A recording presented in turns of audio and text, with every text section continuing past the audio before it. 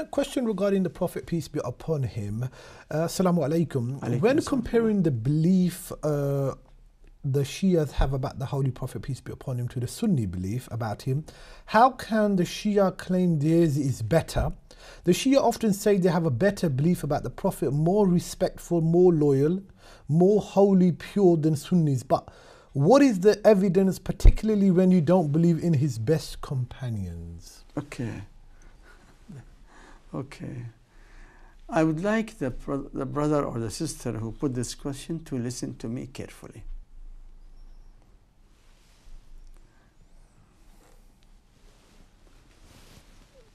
Companions of all the prophets, as you read in Quran, are not prophets.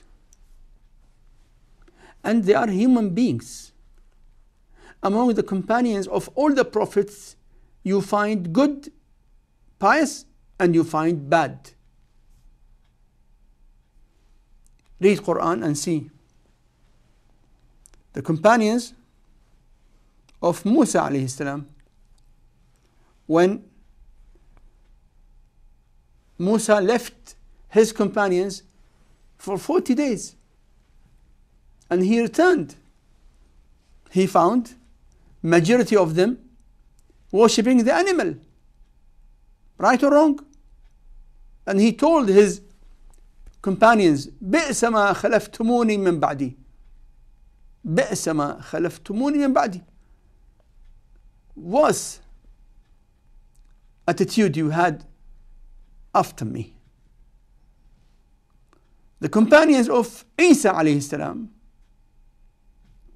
some of them were pious, but some of them were not. And within his own companions were those who informed the enemies of, of Jesus about Jesus to come and kill him.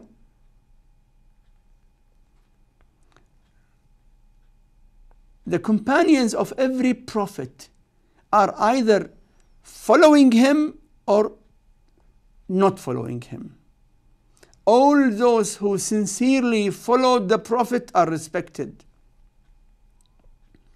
But among the companions of any Prophet, you find many who committed sins, mean they disobeyed the Prophet. We look at the companions exactly as we read in Quran. In Quran, you find that Allah praises some companions, some, not all. Allah says, وَاتَّبَعُوهُ Those who followed him. But those companions who disobeyed him, Allah in Quran blames them and attacks them. يود الذين عصوا الرسول those who disobey the prophet they will wish in the day of judgment will be on the ground they wish they will, that they are being finished because they will see the hellfire in front of them in Quran Allah says that إن الذين ينادونك من وراء الحجرات أكثرهم لا يفقه لا يعقلون Those who call you, O Prophet, those who call you behind from behind the rooms, most of them have no senses. In Quran you find many verses blaming many companions. In Surah Al-Jumu'ah, and everyone from us recites or listens to Surah Al-Jumu'ah every Friday, Allah says, وَإِذَا رَأَوْا تِجَارَةً أَوْ لَهْوًا انفضوا إِلَيْهَا وَتَرَكُوكَ قَائِمًا If they see a trade or amusement, they will go towards it and leave you standing. Imagine. The Prophet was standing reciting the khutbah of Jum'ah. While he was reciting, reading, saying, speaking to them, they used to hear the voice of the caravan of trade entering Medina. And the caravan used to use drums to inform their arrival. The Prophet was in his khutbah. Most of people in the masjid of the Prophet left the Prophet standing and went towards that caravan. You know how many companions did not go? You will not believe it. You will not believe it. All of them went except only 12. 12 only. Only 12 who are Ali, Hassan, Hussein, Salman, Abu Dhar. 12. Only 12 people remained in the masjid. The Prophet was in his khutbah. Allah in Quran recorded this incident which was repeated many times during the life of the Prophet. So, how can you claim that all the companions are equal? No. We greatly respect those companions who followed and obeyed the Prophet till the end of their lives. But those companions who disobeyed the Prophet, when the Prophet was on his deathbed, as you read in Bukhari, in Bukhari, this hadith was narrated many times. The Prophet said, Get me something to write for you. I will write for you a statement that he will never go astray after me. What happened? Some of the companions said, Yes, we have to obey the Prophet. But some of them say, No, we will not obey him. So, between these two groups of com- companions, there was a dispute in front of the Prophet who was on his deathbed whether to obey him or to disobey him. The Prophet was annoyed and he said, Get out! قوموا عني! قوموا عني! Go out! This is mentioned in Bukhari, in Muslim, in Tirmidhi, almost in every book of hadith, which is called, the incident is called Raziyatu Yawm al Khamis, the calamity of Thursday. Ibn Abbas, the famous companion, used to remember it and weep. He said that day, Thursday, when the Prophet ordered to get him something to write for the Ummah, he wanted to write his last will. And they stopped him and they said, إن الرجل لا يهجر the man is talking nonsense. So, do you want to make those who disobey the Prophet like those who obeyed the Prophet? Those companions who disobeyed the Prophet disobeyed him. That's why you find in the hadiths of the Prophet himself in Bukhari in Bukhari. Hadith which is well known by Hadith al Hawd. Hadith al Hawd. The Hadith of pool.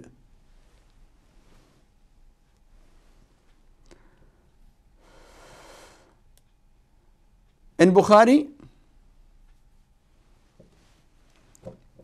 I'll give you hadith number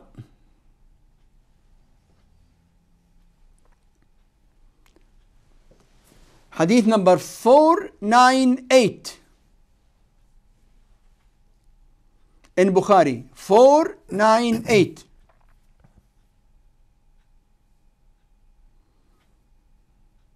Anas bin Malik. Anas was a servant, one of the servants of the Prophet.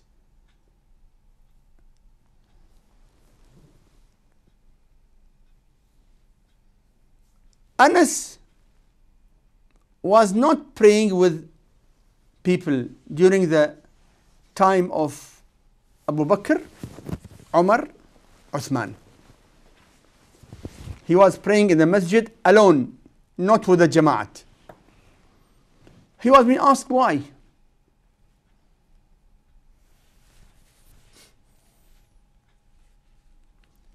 Anas said, ما أعرف شيئا مما كان على عهد النبي. He said, whatever was the religion on the time of the Prophet, now not existing. So they told him, even Salah? قيل الصلاة? He replied, أليس ضيعتم ما ضيعتم فيها? Did you not waste what you have wasted from Salah? Means even Salah was even changed. That is in Bukhari itself. You find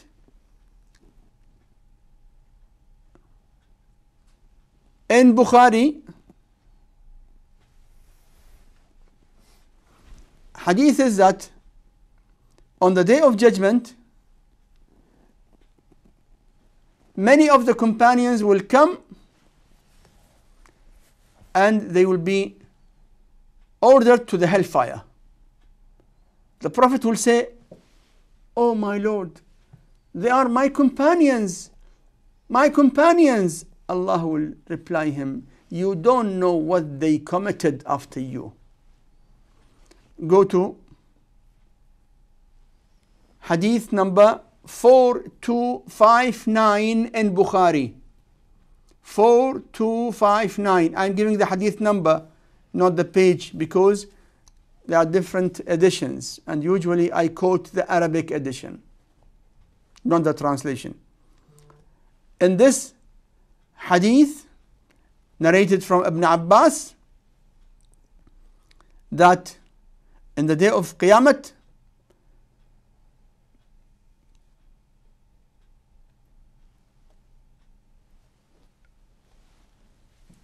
number of people from my ummah will be ordered to go to the hellfire. I will say, Oh my Lord, O Sayhabi, O Sayhabi, my companions, my companions, Allah will reply me, إنك لا تدري ما أحدثوا بعدك. You don't know what they did after you. So don't claim that the Shia Muslims have less respect to the Prophet. In fact, we respect the Prophet completely and we don't respect anyone who disobeyed the Prophet, being companion, being even the Prophet's anyone, anyone from his even family member, anyone who disobeyed the Prophet has no respect because we are following Quran. In Quran, Allah is telling us that even the wife of Noah and wife of Lut, wives of great prophets. You know, Noah is one of the five ulul azm, greatest prophets Despite being wives of prophets, but when they disobeyed Allah, قيل ادخل النار مع الداخلين they were being sent to hellfire. This is Quran. We are following Quran and the authentic hadiths of the Prophet.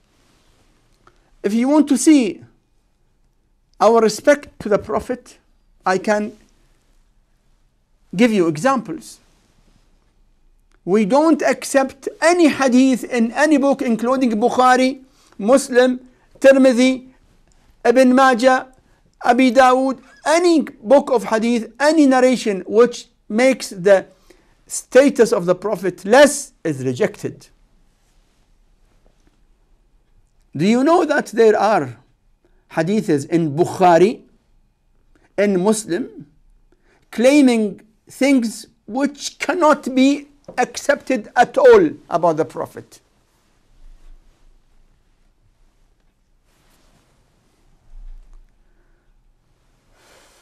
Let me give you some example.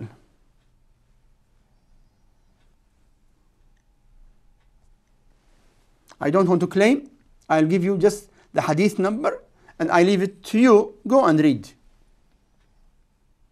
Okay.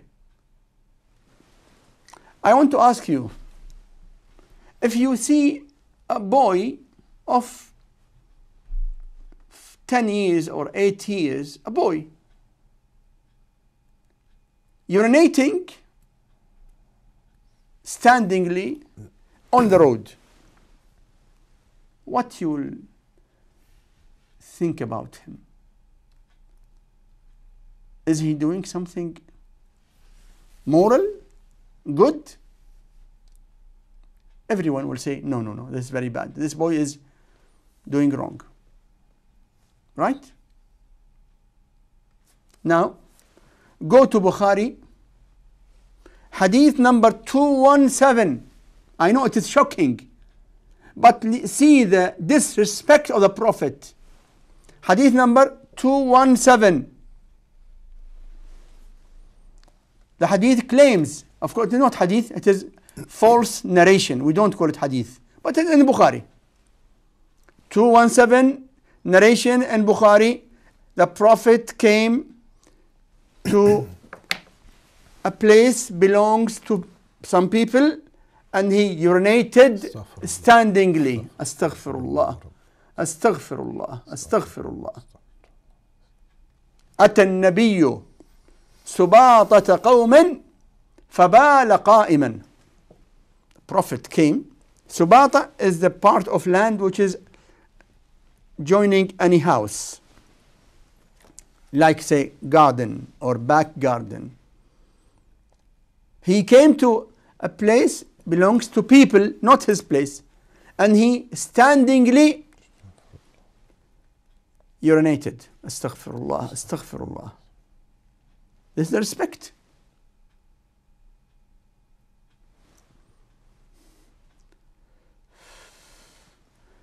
In Bukhari as well, hadith number 218. Narration that the, the narrator claims that I was walking with a prophet and we reached to a place, piece of land belongs to people. So he stood and urinated standingly. Astaghfirullah In Bukhari. Can anyone accept this behavior? From whom? From the best human being about whom Allah has said, وَإِنَّكَ لَعَلَى خُلُقٍ عَظِيمٍ Surely you are of great manners. And they put such allegations on the Prophet that he used to behave in this way. These nonsense, which are called narrations, can never be accepted by any Muslim who knows the respect of the Prophet. The subject is very big subject, but no doubt the respect that the Shia Muslims have for the Prophet cannot be compared at all with what you see in the main books. I don't quote any book. No, I quoted Bukhari, which is according to majority of our Sunni brothers and sisters, the most authentic book after Quran, according to them. But we say that Bukhari has got good hadiths and false fabricated narrations and these examples are of the fabricated ones. Yes. Thank you very much indeed. Sayyidina, we have two callers with us. Yes. Thank you.